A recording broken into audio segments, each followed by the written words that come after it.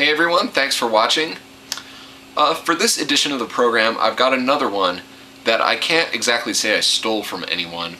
I did kind of come up with it of my own volition. Now this one's pretty much a no-brainer. A lot of you are probably playing it already, but uh, maybe I can show you how to expand on it a little bit and how to transition into a cool tapping lick.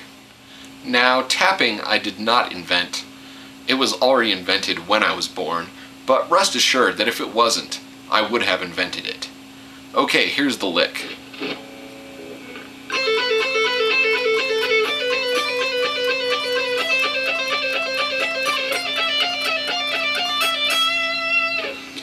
Now I'm not going to take the time to show you how to move that through the whole scale progression. It's really pretty easy.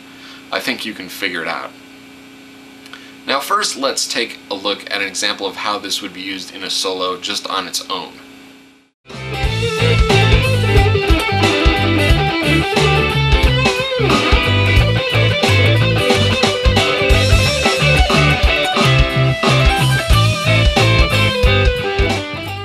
So as you can see, in that example, I was forcing the 16th note feel of the lick over kind of the swung triplets of the backing track that's something that occurs pretty frequently in jazz music, but can actually really be applied to any kind of music.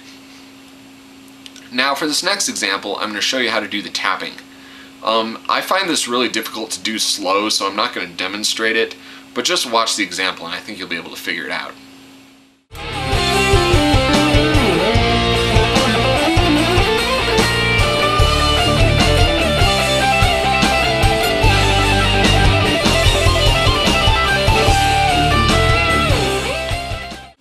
So there you go. The only really tricky part of that is getting this hand over from picking over into the tapping section smoothly and cleanly. Once you're there, you got it. Um, it just takes a little bit of work, but uh, it really pays off once you get it, so enjoy.